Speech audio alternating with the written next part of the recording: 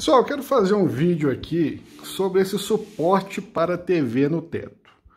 Nós já temos um vídeo desse no canal, que está tendo bastante acesso, e eu resolvi fazer uma atualização desse vídeo, né?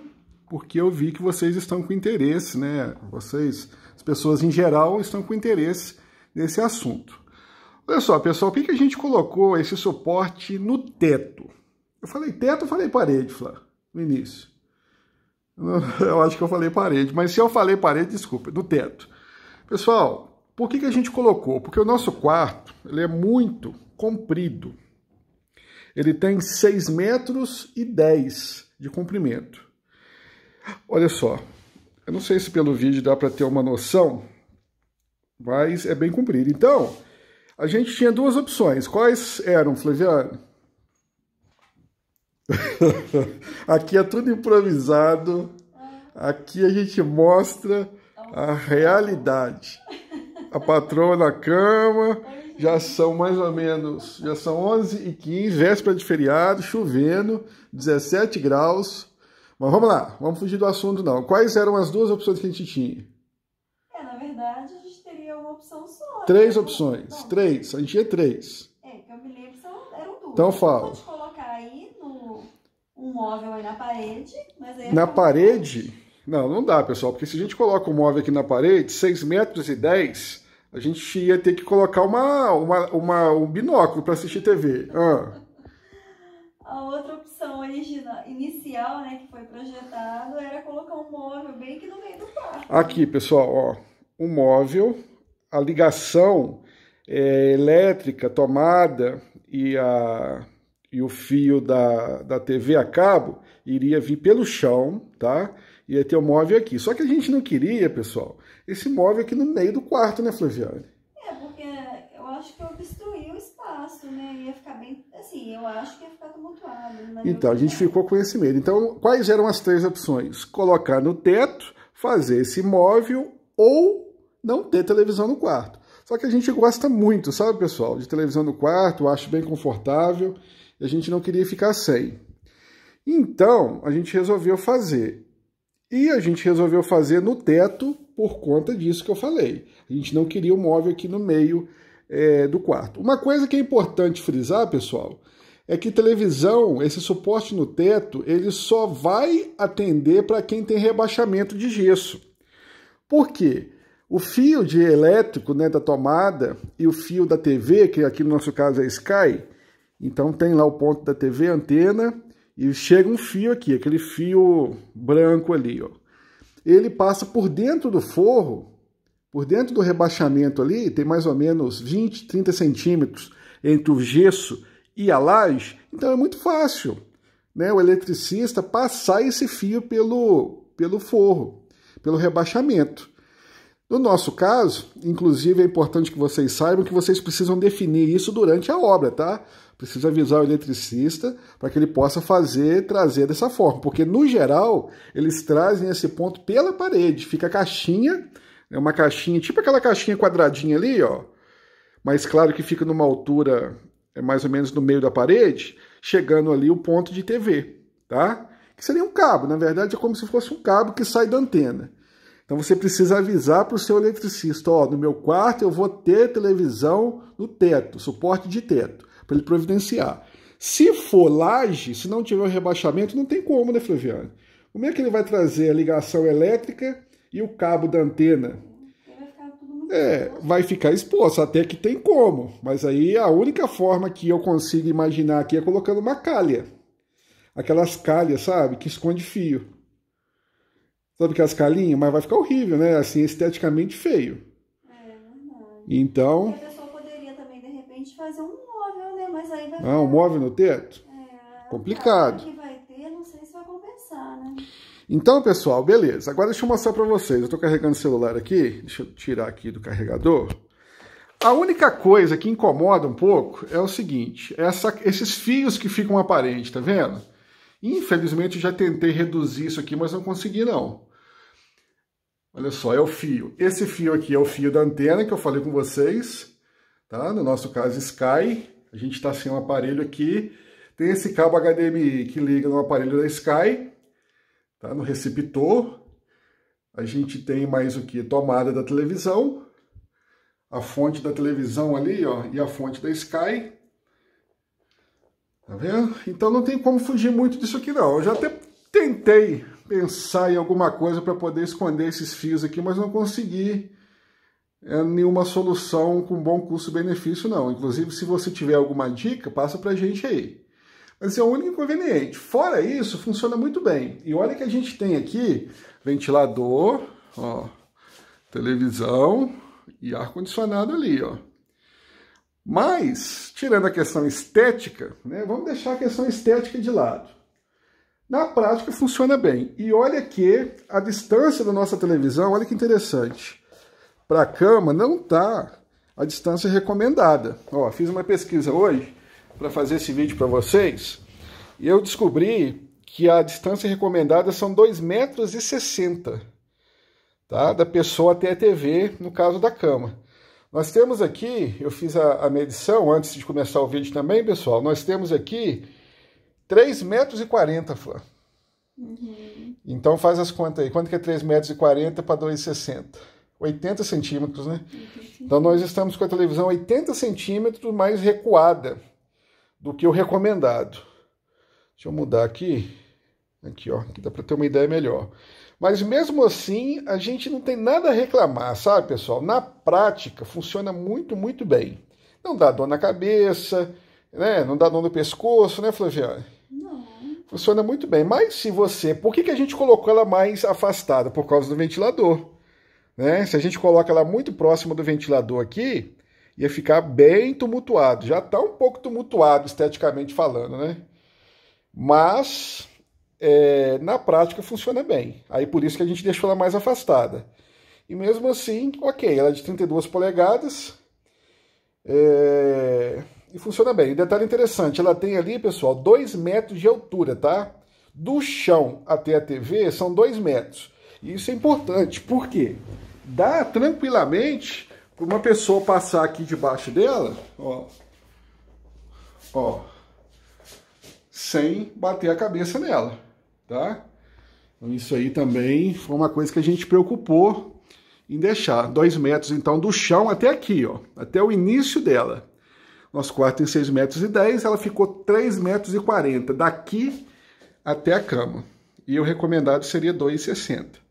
Então, assim, nada, nada, nada a reclamar, com exceção da estética, que realmente não fica perfeita, né, pessoal? A gente tem um móvel também, ó. Sabe uma coisa interessante também, que faz parte desse assunto? Por que, que a gente não tá com o aparelhinho da Sky ali, ó? Eu acho que essa dica vai ser legal para vocês também. A gente até colocou ali um, um relógio. Tá vendo? Aqui nós temos Netflix, né? Nós temos acesso à internet. Então a gente pega qualquer desses programas aí que, são via internet. Mas ah, o aparelho da Sky, o que, que a gente fez? Você lembra, Flá?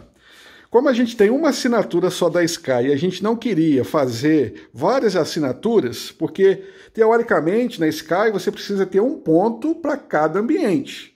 Aí você paga uma mensalidade para cada ponto. E a gente não queria assumir esse gasto. Então o que, que a gente fez? A gente continuou tendo um ponto só e a gente deixou um kit em cada ambiente que a gente costuma usar. Aqui é um deles, deixamos também na sala e no quarto de TV. Então nós temos nesses três ambientes o cabo HDMI e a fonte do aparelhinho. Tá vendo ali? E o que, que a gente faz? Quando a gente quer usar em ambiente de, de, é, diferente, a gente pega o aparelho e traz para cá. Ou leva para a sala, ou leva para o quarto de TV. Assim a gente consegue ter né, disponível a TV a cabo nos três ambientes, pagando apenas uma mensalidade. Claro que dá trabalho, né? Mas como a gente já deixou a fonte, o cabo HDMI em cada ponto, é simplesmente tirar o, o aparelho mesmo, sem nada, sem nenhum acessório, e levar. E a gente tem conseguido, na prática funciona bem. Até porque a gente usa muito na sala. Raramente a gente usa aqui ou no quarto de TV. Nessas ocasiões raras, a gente tira o aparelho né, e a gente consegue é, pagar apenas uma mensalidade. Então, ok, pessoal? Mas o que, que a gente poderia falar, Flá, com respeito à questão da TV, da TV ali? O suporte. Vejo, a impressão que dá é que está até um pouco mais distante, mas assim, pra gente que tá aqui, né, ao vivo, tá uma distância bem confortável. É bem legal. E assim, ver uma TVzinha na cama, pessoal, deixa eu apagar a luz aqui, é tudo de bom, né? Ainda mais nesse dia igual hoje, ó, friozinho. Amanhã é feriado, a gente pode acordar tarde. Aqui a gente ainda tá com uma luz acesa ali que ela apaga sozinha. Olha só, você deita na cama. É, aqui parece que tá distante pra caramba. Deixa eu mudar aqui a forma de. Opa. Aqui, ó. Aqui é mais real, pessoal. Aqui tá uma vez, um, é, tá um X. Ou seja, deve ser uma. Um X, eu não sei exatamente o que, que é. Mas está bem real. Aqui, ó. Apagou a luz, ó. Ainda tem uma luz do corredor acesa. E a gente consegue ver. Parece, Flávio, a impressão que dá é que está desconfortável, sabe? Porque parece que ela está muito alta. Geralmente a televisão fica no... baixa, né? Assim, ó. Mas por incrível que pareça, pessoal, não incomoda, né? Não. Não dá dor no pescoço. tá bem, né? Deixa eu tentar aproximar aqui. Não vai resolver, né? Ah, aqui. É o zoom é de aproximação, Flá. Então, ó, deixa eu colocar 0x aqui. Não tem 0x. Quando a gente deixa 0.5, fica com essa imagem distante. Vamos lá, deixa eu pausar aqui, pessoal, para a gente pensar aqui, para ver se tem mais alguma coisa que a gente pode falar para não perder o tempo de vocês. Só um momentinho.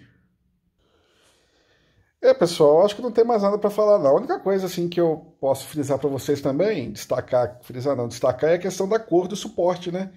De preferência branquinho, fica bem legal, né, Flá? Uhum, ficou bem. Então, resumindo, pessoal, qualquer pessoa que tiver rebaixamento de gesso pode fazer, tá? Pode colocar. Se não tiver rebaixamento, não fica viável. De preferência, deixe 2,60 metros e 60 de distância entre o final da cama aqui, ó, é a, a cabeceira da cama e a TV. Pode ser que fique mais confortável. Mas se por um acaso você precisar deixar um pouquinho mais distante, conforme a gente teve que deixar aqui, 3,40, também você vai, é, vai ter um vai ficar legal, tá? E a altura, 2 metros, pelo menos, né? Para ninguém ficar batendo a cabeça também. Porque senão não fica prático. Tá bom, pessoal? Eu espero que essa dica tenha ajudado você. Se inscreva no canal. Nós temos vários vídeos nesse sentido aí, dicas práticas para quem está construindo ou pretende construir. Tá bom? Vai ser um prazer ter você como nosso seguidor aí. E os nossos vídeos são assim, pessoal. Não tem é tend... não é tendencioso, não tem manipulação de resultado, a gente não tem parceria com ninguém. A gente quer mostrar nossa experiência, né, Flá? Uhum. Se foi positiva, a gente fala, se foi negativa, a gente fala também, porque eu acredito que essas dicas realmente podem ajudar você a evitar né, dor de cabeça. Por exemplo, se a pessoa não pensa nisso aqui, aí depois ela quer colocar. Pensa bem, Flá. A gente aqui com a televisão lá distante, né, não sendo prática, a gente quer colocar. Pessoal, é um transtorno enorme. Quando está na obra é simples. O gesso não está indo, o cara vai, passa o fio aqui, eu prende ele no teto, na laje, beleza. Depois vem o, o gesseiro, faz o forro, ele desce ali tranquilo. Agora, se for fazer depois, gente, é mão de obra demais. Então fica até inviável. Então, olha aí, você já sabe que isso existe e você já vai poder colocar no seu radar da sua obra. Né? Então, vale a pena, pessoal. Eu mesmo usei muito, assisti muitos vídeos e graças a Deus a gente conseguiu é, uma satisfação bem grande, né, Flá? De, vai, fala aí, Flaviane, de 0 a 100, quantos por cento? Fala a verdade, tá? Você está satisfeito com a, com a, nossa obra aqui? Esse ah, um ano depois, a gente já está morando aqui há um ano, tá, pessoal? Não, eu tô 100%. Não, ah, 100 não, né, Flaviane? Aí o pessoal não vai acreditar, não. Tem coisa ué. que não agrada, ué. Não, é, mas é, é. Vamos falar então 90%. Não, é, alguns vídeos a gente até falou que eu mudei é, algumas coisas, é verdade. Uns 90%. 90%, pessoal, é um grau de satisfação muito alto para a obra, sabe? Geralmente o pessoal fica muito insatisfeito com muita coisa. Então a gente teve essa, essa felicidade, graças a Deus. É isso que eu mudaria, gente. São coisas assim que na prática agora eu vejo que se fosse diferente, né, daria muito mais. É, fala aí uma coisa então. É igual a questão lá da lavanderia, que a gente comentou um dia lá no vídeo. Eu nem me lembro o que, que é, não, mas a gente comentou um detalhe lá da lavanderia. Que Se o pessoal ver o vídeo da lavanderia, vai lembrar o que, que é. Nem eu lembro, gente. Você vê que não faz tanta falta, né? Mas. É, pelo menos não é nada que fica. Tá vendo? A gente ficou tão satisfeito que a gente não consegue nem lembrar de uma coisa que a gente possa citar aqui para vocês que tenha deixado a gente realmente insatisfeito. Mas foi muita luta, tá, pessoal? Muita luta, muita pesquisa. No final da obra, eu estava aqui quase todo dia na obra. Graças a Deus também que eu tinha essa disponibilidade. O que, que eu falava para você, Flaviane? É a frase que eu falava direto para você. É melhor sofrer agora do que chorar depois. É, quanto mais a gente conseguir, pessoal, evitar, né, melhor sofrer antes, sofrer durante a obra, do que sofrer depois da obra, porque durante a obra tem como mudar, né, tem como ajustar sem maiores transtornos, mas depois, meu Deus, é complicado. Tá bom, pessoal? Então, desculpa ter fugido um pouquinho do assunto aí, mas fica a dica: de 0 a 10, aprovação máxima para TV no teto, com exceção da estética, claro que é pessoal. Isso aqui não incomoda a gente em nada, tá? A gente não é muito. Como é que se fala? Tem gente que é muito preocupado com, com o que as pessoas vão, né, vão achar e tal. A gente não, a gente é prático, a gente, prefere, a gente gosta da coisa bonita, lógico. Mas a gente coloca a praticidade em primeiro lugar, a gente não tem muito essa neura de. É, se a gente conseguir conciliar a é. estética com a parte prática, a gente é ótimo, né? Mas se não conseguir, a gente prefere a prática. É, essa aqui não me incomoda, esses fios aqui. Na prática não me incomoda muito, não. Tá bom, pessoal? Então fica assim. Até o próximo vídeo. Dá um tchau aí, Flá. Nossa, aí, ó. Chamei ela pra ver um filme na Netflix. Eu já tô até vendo quanto tempo que vai durar essa companhia. Ai, boa noite, Meia hora. Eu vou, desligar, eu vou desligar antes que você abra a boca de novo.